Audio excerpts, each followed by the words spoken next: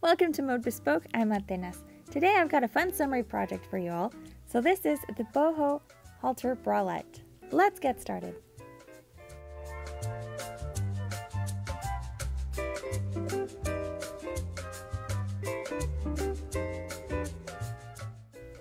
Get a copy of the PDF pattern for this project. It is available at modebespoke.com. The link is in the description box below. It is full of pictures, notes, and all the info you'll need to complete this project. To start today's project, you are going to need two crochet bra liners. Now, this crochet bra liner, we're not going to cover how to do it today because I have posted a video tutorial specifically for this liner. If you'd like to watch that tutorial, I will leave a link in the description box below. So go check that out. You're going to need to make two of these and then we can get started on our project. Now, for this project, you can use any yarn and any hook you want.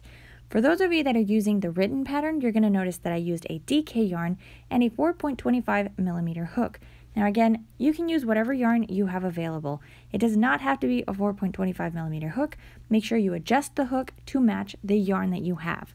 If you need help with that, you can always shoot me an email or leave me a comment down in the comment section below and I'll be happy to help. Now, once you have your two liners ready to go, you're going to need to pin these together. You're going to be crocheting a few rows right below the liners, so you're going to have to pin them in a way that fits you comfortably.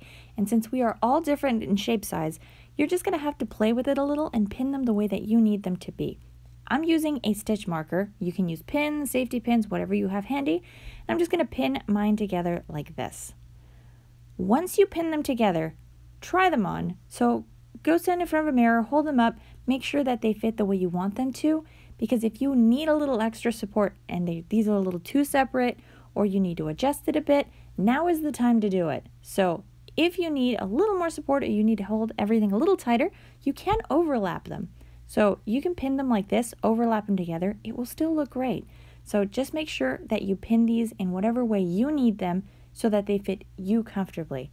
So if you need to pin them like this, I will show you how to crochet that. I'm just going to pin mine a little bit separate like this, but let's get started here. So we are going to begin on the bottom stitch. Let me, there we go. So the bottom stitch of the first liner, whatever liner you want to use, just make sure it is the bottom part of the, of the liner. Insert your hook into that first stitch. So here, let me get that because it's kind of a small stitch. And you're going to wrap your yarn around your hook, so just make a loop. So I'm using two threads of size 1 fingering yarn to make this particular project. So that's why you're going to see two threads. But once you make a loop on your hook, you're going to pull this top loop through the bottom loop, like so. And then you're just going to chain one. So wrap the yarn around your hook, and that's with the yarn tails and everything. Pull the top loop through the bottom loop for a chain. Now you're just going to drop your tail ends, we're not going to need these. And we're going to begin to single crochet. So beginning on the second stitch from your hook, you're going to single crochet all along the bottom part of the triangle.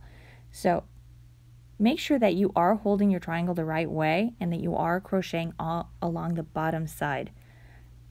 So beginning on the second stitch, let's insert our hook into the stitch, yarn over, and pull up a loop.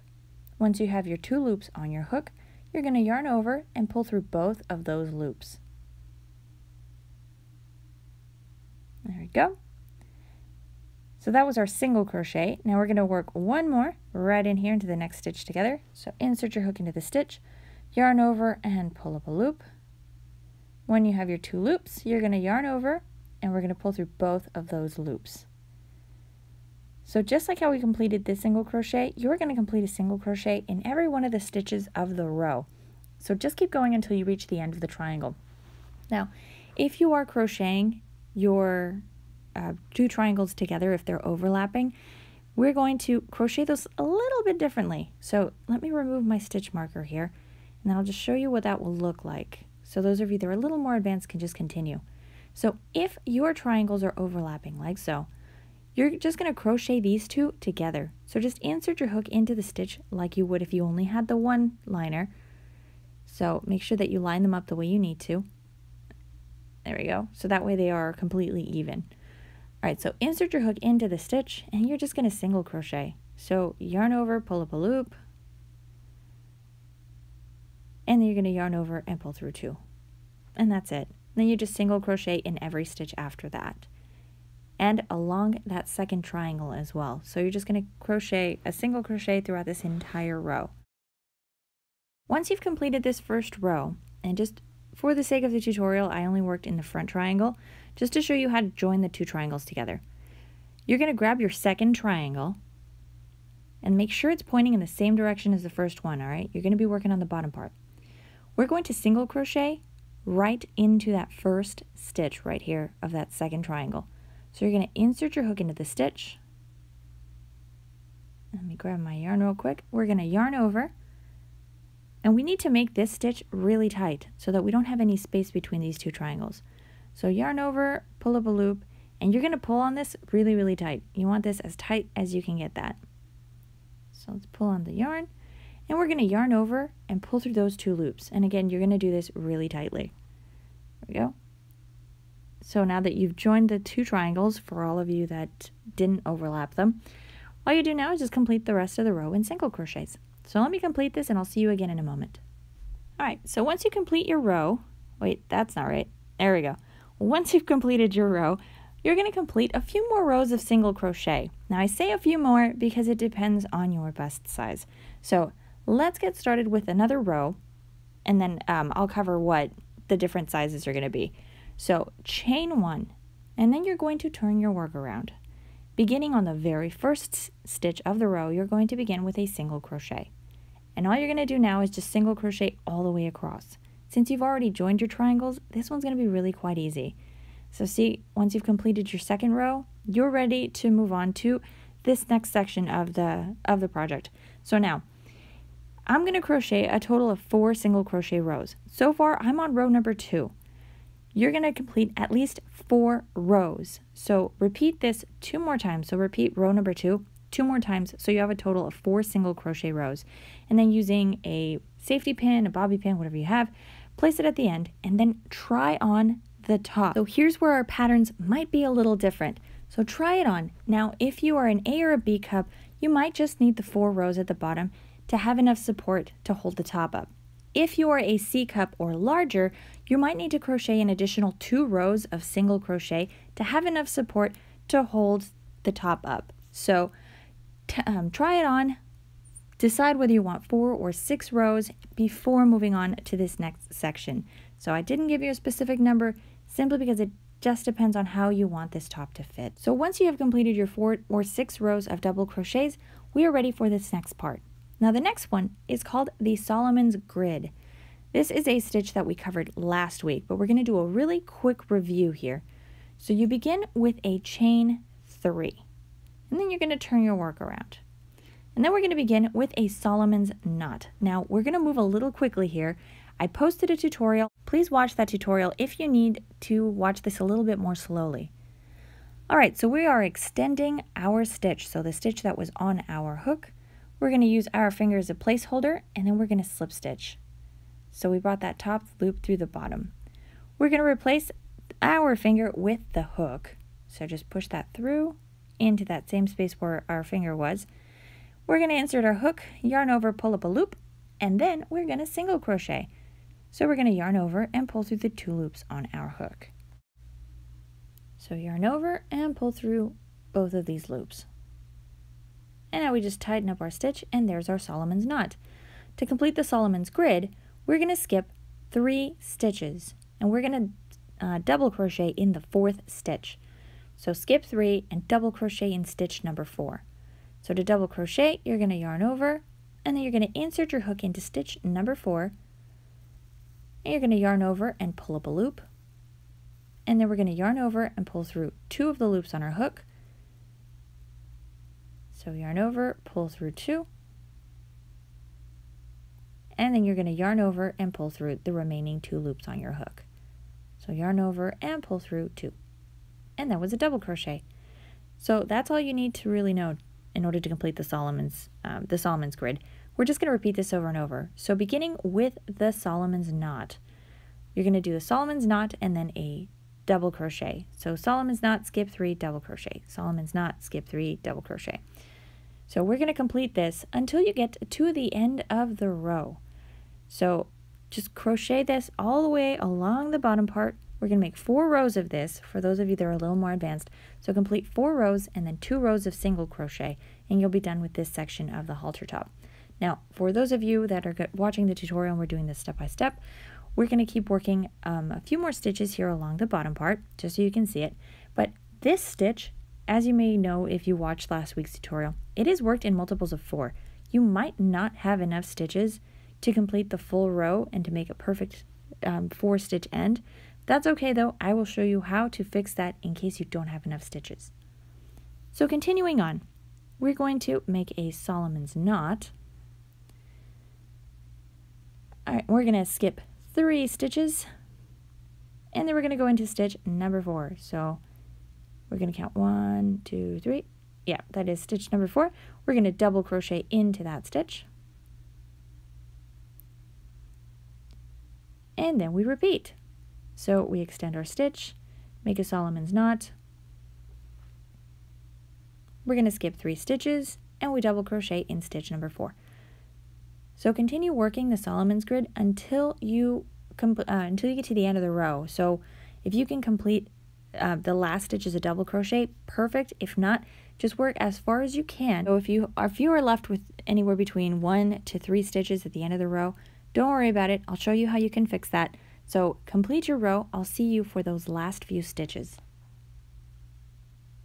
Alright, so I've reached the end and I've left five stitches so you can see. So let's say that you have left with two stitches. So if you're left with two or three stitches, you're going to do the same process. You're going to complete a Solomon's knot, and then you're going to skip either one or two stitches, depending on what you're left with, and you're going to double crochet in the final stitch so that your the end will look like this. So you'll just have just the double crochet at the very end of the row. Now, let me remove this stitch real quick. And then since I left five stitches, I'm going to complete the uh, my Solomon's stitch and then leave just the one stitch at the end. So let me complete my double crochet here. And then for those of you that were left with just one last stitch here at the end of the row, all you need to do is just double crochet in that final stitch. All right, and we're going to yarn over, pull through two, yarn over, pull through two, and there we go. If you're a little worried about that last double crochet, don't stress it. We still have to crochet the back ties, and those stitches are going to cover up this extra double crochet, so you won't even notice that it's there. So don't worry about it. Just complete the row to the best of your ability, and then we're going to complete the, the rest of the Solomon's grid. All right, so now that we've completed this row, we're just going to complete another three rows of Solomon's grid. So let's start this next row, and then I'll leave you to it. So we're going to begin with a chain three, and then you're going to turn your work around. So you're going to crochet a Solomon's knot above the Solomon's knot from the previous row. So we're going to extend our stitch, create the knot, and we are going to skip to this second double crochet of the row. So this one right here. You're not going to work into the first two, you skip those, as well as the first Solomon's knot. So all of the double crochets you crochet in the next three rows are going to be above the double crochet of the previous row. So I'm going to double crochet into this stitch so that everything stacks up like this. Now for this next one, we're also going to make the knot. There we go. And then we're going to skip the knot from the previous row and we're going to double crochet in the double crochet of the previous row. I feel like I keep saying previous row, but I mean, that's that's where we're working, so I don't, I don't have much of a choice. All right, so continue working this same um, stitch. Once you get to the end of the stitch, you're going to work your final double crochet in the top stitch of your chain three of the previous row. See, there it is again. All right, so crochet your last stitch in this one, and then just repeat two more times until you have a total of four uh, rows of Solomon's grid. So here we go. I've completed a total of four rows. It's looking so pretty. Okay, now for this next part, we're just going to complete two rows of single crochets. The first row of our single crochet is going to be a little different than the second row. So for the first row, you chain one, and then we're going to begin right here in this tiny little stitch. So you're going to single crochet here, and you're going to single crochet here. Inside of the knot, you're going to make two single crochets. So let me get everything here all set up again. So let's begin here with this first stitch. We're going to single crochet here. We're going to single crochet in the stitch right next to it. Now, if that stitch is too small, you can skip it and you can single crochet three into the knot instead. So you just have to work four stitches to, to keep the same stitch count. All right, so now I'm at the knot. Since I crocheted in that previous stitch, I'm going to just make two single crochets into this stitch. And there we go. And now we just repeat. So we single crochet into the first stitch. So right here, single crochet into the second stitch, and then two single crochets in the knot. So keep working this same pattern until you get to the end of the row. Once you reach the end of the row, all you need to do is just chain one, turn your work around, and work a row of single crochets. So complete both of those rows. I will see you in just a moment. And now we've got the bottom part done. So that was the probably the most difficult part of this entire pattern. So let's move on to the back ties. So we're going to work both of them are going to be very similar except that one is going to have the buttonholes and the other one is going to be the long ties. So this is the one that's going to wrap around your back and you're going to uh, attach the buttons to it. All right, so both sides are going to begin the same way. So we're going to begin with a chain one. And then in the next three stitches, we're going to single crochet. So we're going to single crochet all the way. You reach the bottom part of the bra liner. So these four rows of single crochets, or six if you made six. So let's begin here with our three single crochets. So we begin with the first one. So we got one, two, and then I've got another one right here, so three. And in that space that we're going to hit here in just a second, so in these big stitches, you're going to crochet two in here. So there's going to be two single crochet, two single crochet, two, and so forth until you get across this wide part. But So here's the wide stitch. We've got two single crochets. You're going to see this stitch right here, right next to it. Single crochet into that one as well. There we go. And then single crochet in this large space. So there's one, two. Single crochet right here into that stitch. And we got two single crochets in the large stitch, single crochet in this small stitch. We got two more single crochets here. And then I'm going to crochet a single crochet in each of the stitches until I get to the bottom of the bra liner. So again, this part might be a little different. So if you stitched four, then you're going to do four single crochets.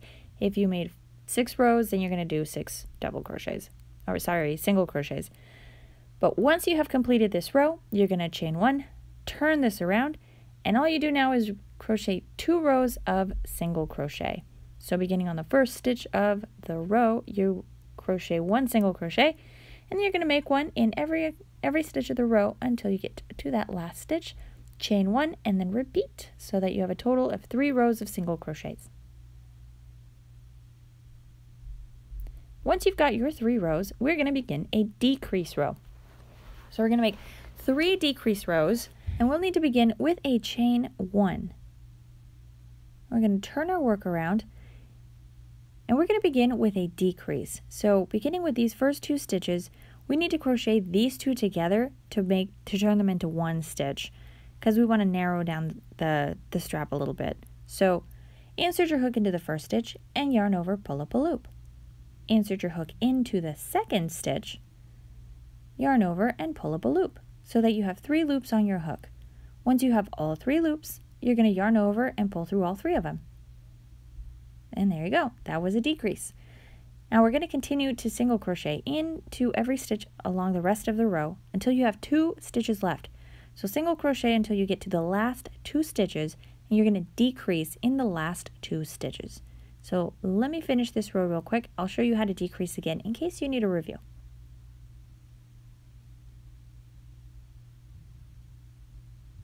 So I'm at the last two stitches and we're just going to decrease again. So insert your hook into the first of the last two stitches, yarn over, pull up a loop, and then insert your hook into the final stitch, yarn over, pull up a loop, and now you just yarn over and pull through all three loops. So that was a decrease row. You're going to need at least three of these, but you might need more, you might need less, depending on how many buttons you plan on using. So be a little flexible here on this part. But we're going to continue on. So chain one, and we're going to work just a regular row of single crochets. No decreases, no nothing. So beginning on the first stitch, you're just going to single crochet all the way across. So after this, I'm going to work a total of three decrease rows. So I'm going to complete this single crochet row, then I'm going to complete a decrease row, follow it with a single crochet row, and then a decrease row and a single crochet row. So my work is going to look like this. So that is with a total of three decrease rows. And now I'm going to take my buttons and I'm just going to measure them on here. If you use one button, this might be a little bit different, but I wanted to use uh, two little buttons, and these are about a half inch in diameter, which is about, I think it's 1.3 centimeters. You can use any size button you want. I'll show you how to make the buttonholes for whatever size you need. So take your buttons and place them where you want them to go. So I'm going to leave two stitches along the end, and then you're going to count the number of stitches across the widest part of the button. So I'm going to grab both of my buttons and line them up so that I have two stitches on both ends. And then you count the number of stitches in between here. So this button is three stitches across. So I have two stitches along the side, three before the button, two in the center, three along the other button, and two at the end. Try to space them out as evenly as you can. It might not be perfect, but try to space them out as best as you can. All right, so I'm going to chain one, and then I'm going to turn around. And we're going to work two single crochets, because that's what I had set up my button for. So we got two single crochets. I said my button was three stitches across, so that means I need to chain three. So that's one, two, three. I'm going to skip three stitches, so it's one, two, three. And then I'm going to single crochet two because I set up, I set my button so that I had two stitches between each button. So I'm going to do my first single crochet and then do one more single crochet and then the other button is the same size, so I'm going to chain three and then I'm going to skip three. There we go, skip three stitches, and then I'm going to work a single crochet in the remaining two stitches of the row. So remember that this is your project. If you're going to use a different size button, just work in a similar fashion. Try to space everything out as evenly as you can. It might not be perfect, but that's okay. It's going to look fantastic anyway. So just try it out. All right, so the next row, we're gonna chain one, we're gonna turn our work around, and then we're just gonna single crochet all the way across. So let's begin with our first two single crochets. So there's one, and then there's two. And you're gonna single crochet three because I made a chain three. So if you chained five, then single crochet five. If you chained one, then single crochet one. Just single crochet the same number of stitches that you chained and then I'm going to work a single crochet in each of my two single crochets from the previous row. So there's one and there's two. And here's my next little buttonhole. So I'm going to single crochet three. And then I'm going to single crochet in each of the last two stitches. There we go. And then just to reinforce the buttonhole, we're going to make one last row of single crochets. So I'm going to chain one, turn my work around, and complete one more row of single crochets. At the end of this, you're just going to chain one, leave a nice long tail end of yarn, cut everything, weave all your ends in, and we're going to complete the second tie. Now for the second tie, you're going to repeat the steps we just took, except for the buttonhole section. Don't make the buttonhole. So just work those three decreases, and then after that, just work the row of single crochet, just repeat it over and over again until you get the length that you need for that back tie. So to measure it, just try it on as you go. So work a few um, a few rows of single crochets and then try it on. Make sure that you've pulled it nice and tight so that it'll actually hold the top up. Um, and once you get to that length you need, so it's got to be a length that is comfortable, it's going to hold the top up, and it overlaps a little bit with the buttonholes because you will need to sew the buttons onto it. Then you stop. So I'm going to work on those and then I'll show you how to do the neck uh, the neck ties. So let me complete my second tie and I will see you here in just a moment. All right, so here is that back tie. So as you can see, I've made it several rows long. I've now gotten to the end of it. So to finish this off, I'm going to chain one. That's going to make a little knot here at the bottom. I'm going to cut a long tail of yarn.